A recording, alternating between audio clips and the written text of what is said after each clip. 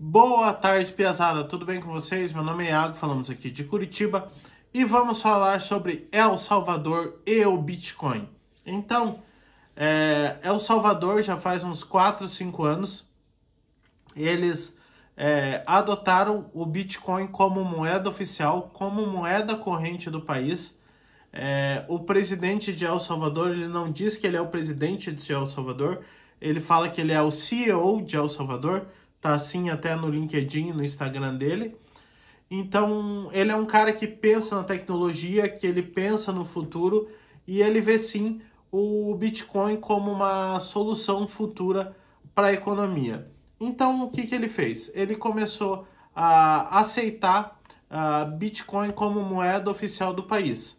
Eles começaram a comprar Bitcoins também e eles fizeram uma coisa incrível ah, o principal problema na mineração de Bitcoin é você encontrar uma fonte de energia elétrica barata. Cara, o que El Salvador fez é simplesmente ah, uma coisa disruptiva, uma coisa fora da caixa. Ah, eles pegaram um vulcão, que é um vulcão ativo lá em El Salvador, ou seja, ah, é uma fonte de calor.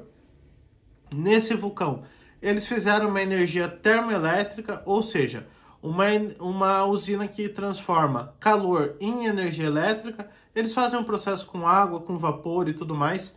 Procura no canal de física, porque eu não vou saber explicar, meus queridos. Mas eles tinham energia elétrica sobrando.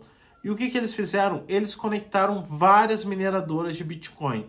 Papo de mais de mil mineradoras de Bitcoin. Eles fizeram um farm enorme de Bitcoin.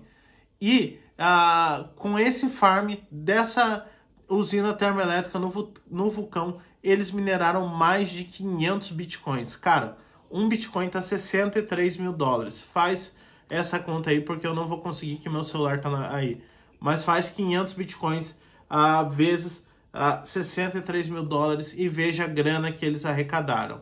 E ele tá guardando toda essa grana, tá guardando todo esse bitcoin o PIB do país se elevou em muito e eles ensinam nas escolas para as crianças a mesma coisa que eu ensino para vocês, mas eles ensinam o que, é uma blockchain, o que, é uma criptomoeda, como compra criptomoeda, como vende criptomoeda, como minera criptomoeda. Eles ensinam tudo isso na escola em El Salvador e eles acreditam que isso sim é o futuro da economia de El Salvador, é o futuro da economia mundial.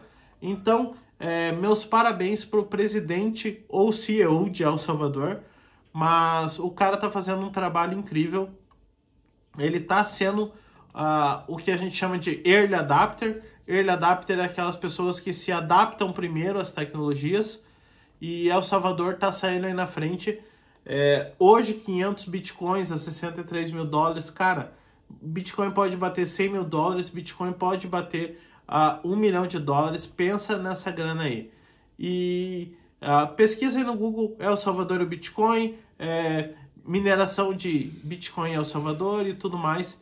E você vai ter os resultados aí, são incríveis. Uh, eu espero que no Brasil o nosso governo também estivesse usando. Cara, a gente tem Itaipu aqui, que a gente não usa toda a capacidade que Itaipu tem. Eu sou aqui do Paraná, eu sou aqui de Curitiba, né?